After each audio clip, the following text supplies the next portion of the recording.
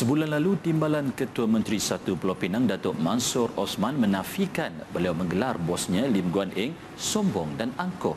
Namun kini terbukti sebaliknya apabila rakaman kenyataannya itu didedahkan. Di hadapan beberapa ahli PKR negeri dalam mesyuarat strategik parti, Datuk Mansur turut nekat tidak akan bertolak ansur sekiranya PKR tidak mendapat kerusi yang sepatutnya ditandingi. Mesyuarat terbabit dilaporkan berlangsung April lalu di Pejabat Parti King Street, Pulau Pinang. Ia antara lain berkisar soal pembahagian kerusi untuk pilihan raya umum ke-13 dan peluang memenanginya. Ditanya adakah DAP akan menuntut kawasan yang ditandingi PKR, ini kenyataan Datuk Mansur. Betul, we have not finalized. Not finalized. They are very arrogant. I tell you, hmm. cocky and arrogant. Their, their style, their style tak ada. So it's not easy. Since 1999. Cocky and arrogant. Now more arrogant. Now more arrogant. Because they menang banyak. Yeah, they, they are sure of getting 90 and they want more. Because by two more, they are the, no? They, they can form the, yeah, they can form the own government. So they can pick any two from us.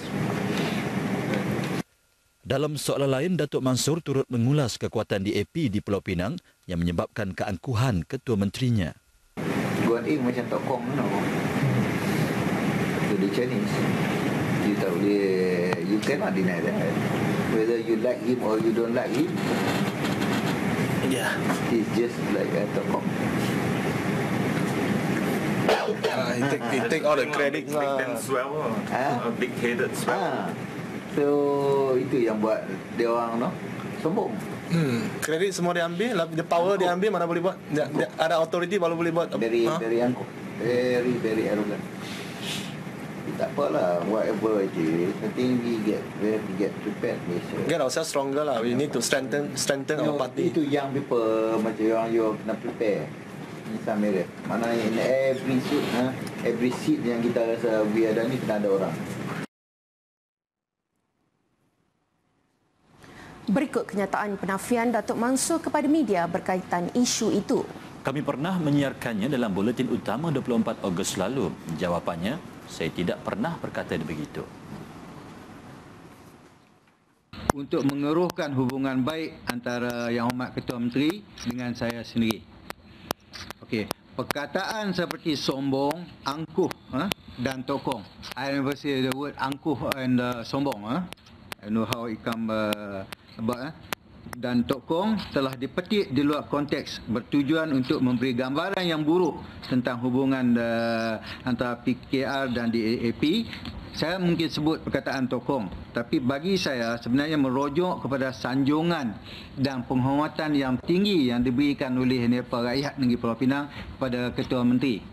Ya, itu dia I may be uh, no misunderstanding of the word uh, tokong tapi to me pengertian dia itu itu that, that's word uh, ni apa bagi maksud saya itu ya terus cuba berselindung penafian itu turut digambarkan dengan aksi berpegang tangan antara beliau dan Guan Eng saya kata tokong saya ada sebut hmm.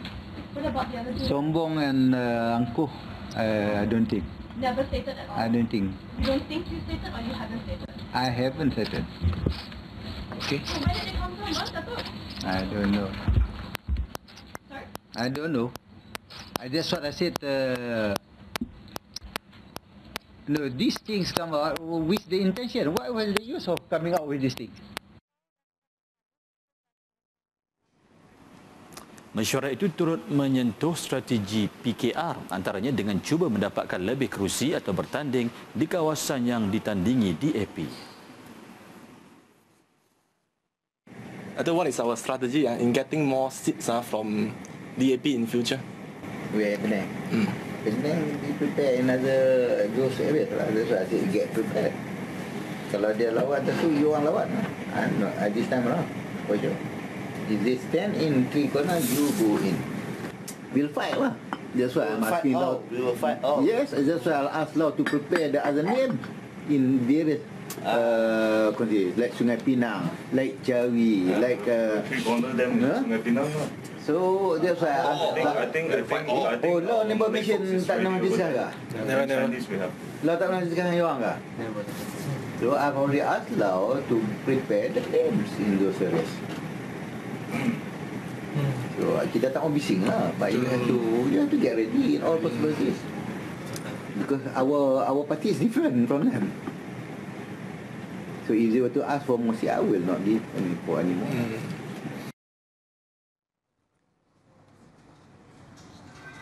Apapun susulan daripada kritikan Datuk Mansur itu kini wujud dalang dari DAP yang cuba menamatkan riwayat politik timbalan Ketua Pulau Pinang satu itu. Dalam satu kenyataan media, Pertubuhan Kebajikan Sahabat Islam Pulau Pinang menyifatkan maruah Melayu Pulau Pinang kini seolah-olah ditentukan pemimpin DAP. Kemelut terbaru PKR susulan kebocoran minit mesyuarat strategik parti itu dijadikan modal untuk menghina orang Melayu. Menurut kenyataan itu, apa yang dizahirkan dalam mesyuarat strategik oleh Datuk Mansur sebenarnya adalah suara akar umbi. Pengurusi NGO ini, Roslan Ramansyah, justru mengajak masyarakat Melayu sedar mereka kini ditindas serta ditaburkan dengan pelbagai janji manis pada pilihan raya umum lalu.